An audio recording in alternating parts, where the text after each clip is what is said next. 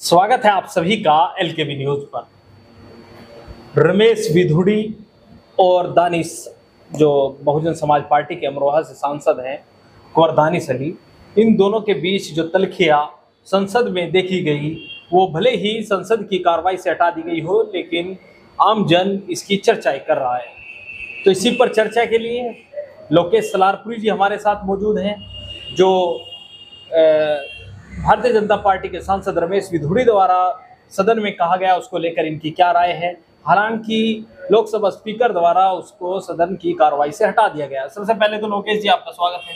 धन्यवाद बहुत बहुत प्रवेश भाई। लोकेश जी आपने देखी होगी वीडियो सोशल मीडिया पर वायरल हो रही है। भले ही वो सदन की कार्रवाई से हट गई।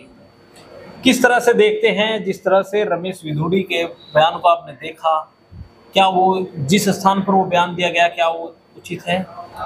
ये तो शर्मनाक एक शब्द में कह सकता हूँ, और संसदीय इतिहास की सबसे शर्मनाक घटनाओं में से एक घटना ये परसों की घटना है जो संसद में हुई है।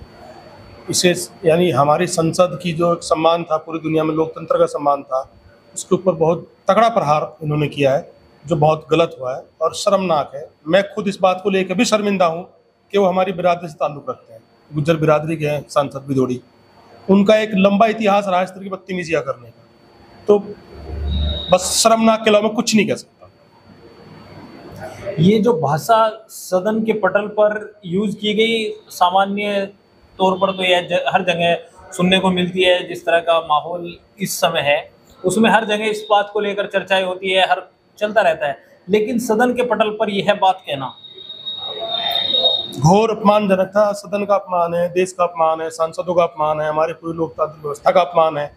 तो क्या अब मुझे लगता है शायद भाजपा इस पूरे विमर्श को वहाँ ले आई कि जहाँ ये भाषा आम हो जाएगी, आम जनता इस तरह से बात करनी शुरू कर देगी क्योंकि हमारे चुने हुए सांसद जब ये भाषा संसद में इस्तेमाल कर रहे हैं परवेश भाई तो फिर हम आम जनता इस भाषा से कैसे दूर रह पाएँगे और कब तक दूर रह पाएँगे? क्या भाजपा का यही मकसद है? ये बहुत बड़ा सवाल आज की तारीख में खड़ा है देश के सामने। क्या भाजपा अपने सांसदों को यही सलाह दे रही है, यही शिक्षा दे रही है या उनको इनकरेज कर रही है कि भाई ऐसा करो, इस तरह की भाषा बोलो? यानी आप देश का पूरा माहौल को एक बहुत खतरनाक जगह ले जाना चाहते हैं। इस पर रोक लगनी बहुत ज़रूरी है। बेहद ज़रूरी है इस तरह की घटनाओं पर रोक लगाई जाए। और मैं तो मांग करता हूँ, भाजपा से मांग करता हूँ, हालाँकि भाजपा ऐसा करेगी नहीं। इन्हें इनाम ही मिलेगा ऐसा इनका आज तक का इतिहास रहा है। इस तरह के सांसदों को निष्कासित होना चाहिए और इनके खिलाफ जो भी कानूनी कठोरतम कार्रवाई वो होनी चाहिए। शर्मनाक चीज़ है ये। विपक्षी नेता चाहे वो राहुल गांधी अखिलेश यादव तमाम लालू प्रसाद यादव तमाम नेता कुंवर दानिश अली के समर्थन में उतर आए हैं। इसके अलावा भारतीय जनता पार्टी की बात करें तो सदन में ही राजनाथ सिंह ने माफ़ी मांगी है कि इस तरह की भाषा का इस्तेमाल रमेश विधुड़ी को नहीं करना चाहिए था। तो देश की राजनीतिक लिहाज से इसको कैसे देखते हैं आप? देखो राजनाथ सिंह एक मास्टर स्ट्रोक खेल गए। उन्होंने कुछ नहीं किया कोई इसके खिलाफ कार्रवाई जब तक नहीं हुई थी राजनाथ सिंह ने अपनी तरफ़ से पहल करे माफ़ी मांग ली यानी मजबूर कर दिया कि पूरी भाजपा माफ़ी मांगे क्योंकि वो एक बड़ा लीडर है राजनाथ सिंह भाजपा का। अगर वो माफ़ी मांग रहे इसका मतलब कुछ गलत हुआ है। उन्होंने राष्ट्रीय अध्यक्ष रहे हैं उन्होंने प्रूव कर दिया कि गलत हुआ है। अब भाजपा इस जाल से कैसे बचेगी? मजबूरी है भाजपा की कि इस पर कार्रवाई करनी पड़ेगी लेकिन क्या कार्रवाई करेंगे ये देखने वाली बात बताओ नोटिस जारी किए। ये कोई कार्रवाई थोड़ी है आप संजय सिंह अगर कोई विरोध प्रकट करते हैं तो उनको आप पूरे सेशन के लिए निलंबित कर देते हैं। इनके लिए क्या किया आपने? क्या कार्रवाई करी है? आपने सदन की कार्रवाई से निकाल दिया। और इससे भी शर्मनाक कुछ और भी है परवेश भाई कि जब वो ये बात कह रहे थे पीछे दो भाजपा के सांसद बैठे हुए थे जिनमें एक थे हर्षवर्धन जी। वो हंस रहे थे बेशर्मी के साथ। एक दूसरे सांसद थे वो भी मुस्कुरा रहे थे। अपने जो हमेशा कभी हँसते देखे नहीं गए हैं आज की तारीख में वो हंस रहे थे। हमारे पूर्व कानून मंत्री रविशंकर जी वो हंस रहे थे बेशर्मी के साथ में। हर्षवर्धन जी जिनका खुद का रिकॉर्ड बहुत अच्छा नहीं है हमने विधानसभा में उनको रोते हुए देखा है। एक संवासनी का कुछ गर्भवती कांड हुआ था उसमें ये रोते हुए पाए गए थे तो इनका पूरा पूरा सिस्टम ही खराब है। भाई इस तरह की चीज़ों को लेकर के ये बहुत इनकी विचारधारा बहुत क्लियर नहीं है बहुत घटिया विचारधारा है। यानी कहीं ना कहीं जो उनके साथ बैठे सांसदों का समर्थन था क्योंकि वो उनका उत्साह बढ़ा रहे थे आपको ऐसा लगता है? क्योंकि अट्ठावन सेकंड की वो वीडियो है। अगर आप कोई गलत बात कर रहे हैं दस सेकंड आप कहेंगे और आप हाव भाव अपने इर्द गिर्द के सांसदों का देखेंगे तो उसके बाद आपका बदल सकता था, यानी कहा गया तभी एक वर्ड को कई कई बार यूज़ किया गया। अगर सभ्य लोग होते, बाकी सांसद, भाजपा के सभ्य लोग होते उन्हें देश की चिंता होती तो वो उनको तुरंत रोकते, उनको बिठाते, कहना क्या बदतमीजी कर रहे हो? अगर हमारा कहीं हम बैठे हो कि झगड़ा हो जाए हम किसी के प्रति गलत व्यवहार करते हैं तो चार आदमी रोकते, कहना नहीं, ये गलत बात है भाई, ऐसा नहीं करना। संसद में क्या था? अरे, संसद में 545 पूरे 140 करोड़ के 545 लोग हमारे प्रतिनिधि हैं। वो रोक नहीं पा रहे हैं। तो आप देश को मैसेज क्या देना चाह रहे हो? कि भाई ठीक है सब ये भाषा बहुत सही है आप इसे बोलिए आप लगातार इस्तेमाल कीजिए। गलत था। उस वक्त की कार्रवाई जो चल रही थी लोकसभा की तो जो कुर्सी पर थे स्पीकर। स्पीकर की भूमिका में जो थे वो कांग्रेस के सांसद हैं। उनको किस तरह से देखते हैं? मैं उनको संदेह का लाभ देना चाहूँगा। दरअसल वो साउथ के हैं। हिंदी भाषा इस तरह के शब्दों से उनका साफ़ काम तो पड़ता नहीं है। मुझे लगता है उनकी बॉडी लैंग्वेज से लगता है, शायद वो समझ नहीं पा रहे थे हो क्या रहा है। ये कह क्या रहे, उन अर्थों का, उन शब्दों का शायद वो अर्थ समझ नहीं पा रहे थे। कोई हिंदी भाषी होता, उत्तर भारत का होता तो समझता। तब भी अगर यही व्यवहार होता स्पीकर का तो उनके ऊपर सवाल निशान ज़रूर लगते। उनको संदेह का लाभ दिया जा सकता, मैं दे सकता हूँ कि वो शायद समझ नहीं पा रहे हो क्या रहा है। यानी वो इस, क्योंकि वो बार बार कुंवरदानी सली को ही टोक रहे हैं उस वीडियो में कि कुंवरदानी सली आप बैठिए आप बैठ मतलब इस तरह की इस्तेमाल करें। यानी वो ये चाह रहे थे कि रमेश विधुड़ी जी का टाइम है वो आसा अपना टाइम राइट राइट राइट बिल्कुल आप सही समझे। क्योंकि उनके लिए उन्हें ये नहीं पता था रमेश विधुड़ी कह क्या रहे हैं असल में।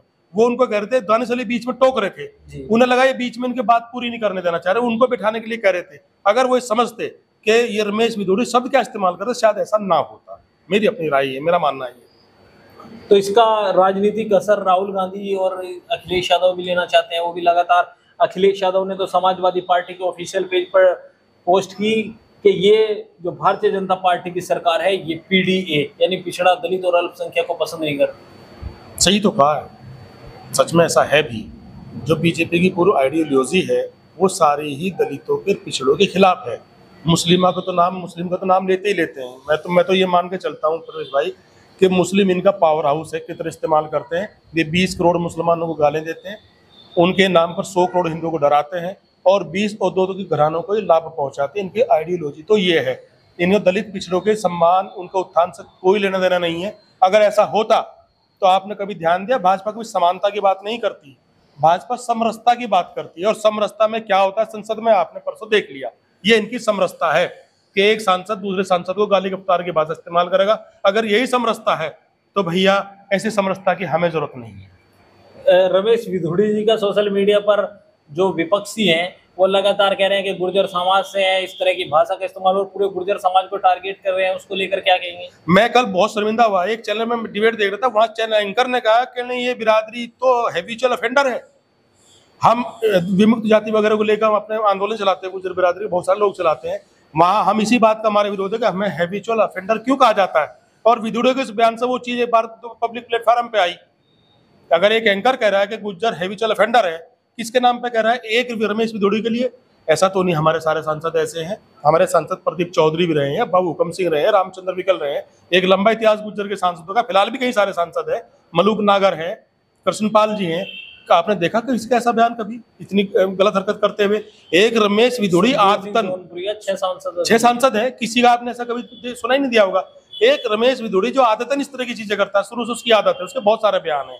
एक बार तो मुझे याद है दिल्ली में कोई रामलीला कमेटी का प्रोग्राम था वहाँ उन्होंने इसको बीस प्रोग्राम में कहा था कि ठीक नहीं आपने गलत किया हमें ज़रूरत नहीं माफ़ी चाहते हैं। यानी वो गलती जो है वो व्यक्तिगत रूप से रमेश विधुड़ी की है। या भारतीय जनता पार्टी की है गुर्जर समाज का कोई इन्वॉल्वमेंट नहीं? नहीं इन्वॉल्वमेंट नहीं है। गुज्जर समाज का इन्वॉल्वमेंट नहीं बस ये है कि हम महसूस करते हैं। हम चूँकि बिरादरी में शामिल है हमारी बिरादरी के हैं तो हमें महसूस होता है यार हमारी बिरादरी किसी आदमी ने बहुत गलत कर दिया बिरादरी को कलंकित कर दिया। लेकिन उसमें वो गुज्जर सांसद है ये गुज्जर बिरादरी के लिए सांसद है। एक भाजपा की आइडियोलॉजी भाजपा ऐसे लोगों को हमेशा ही आगे बढ़ाती है उनको पारितोषिक देती है उनको इनाम देती है। इस तरह के लोग इनकी ज़रूरत है। छह के छह लोग जो सांसद हैं भारतीय जनता पार्टी से ही है। समाज जी। जी उनका आपने ऐसे कोई आज तक सुनाई दिया क्या? कभी भी नहीं। प्रदीप चौधरी कितने सौम्य हैं कितने अच्छे व्यवहार के व्यक्ति हैं कृष्णपाल जी हैं जौनपुरी हैं सारे हैं एक लप्पी है इतिहास पहले भी रहा बहुत लंबा चौड़ा इतिहास। बाबू हुकम सिंह थे कितने अच्छे पार्लियामेंट्री आदमी थे।